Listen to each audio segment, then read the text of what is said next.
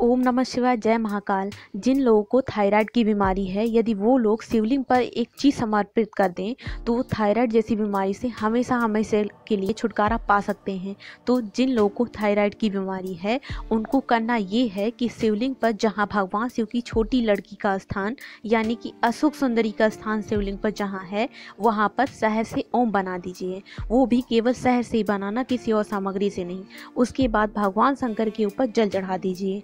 और नीचे जहाँ पर शिवलिंग की जलाधारी से नीचे जल गिरता है, वहाँ पर किसी पात्र को लगाकर शिवलिंग पर जो जल से अभिषेक किया है, वो जल और जो अशोक सुंदरी के स्थान पर सहज से ओम बना था, उसको भी उसी पात्र में ले लीजिए। और जब अभिषेक किया हुआ जल और सहज से बना ओम अपने किसी पात्र में ले ले तो घर आकर जब केवल दुआदशी तिथि पड़े, उस दिन दोपहर के ठीक बारह बजे उस पानी में मिले शहद को थोड़ा सा पी लीजिए।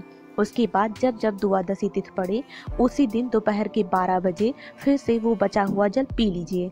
ऐसा आप दो या तीन द्वादशी तिथि ये जल पिएँगे। आपकी थायराइड की बीमारी हमेशा हमेशा के लिए समाप्त हो जाएगी। ज़िंदगी में कभी भी आपको थायराइड नहीं होगी। केवल अशोक सुंदरी की जगह पर ओम अंकित कर देने माँ से चमत्कार हो जाता है।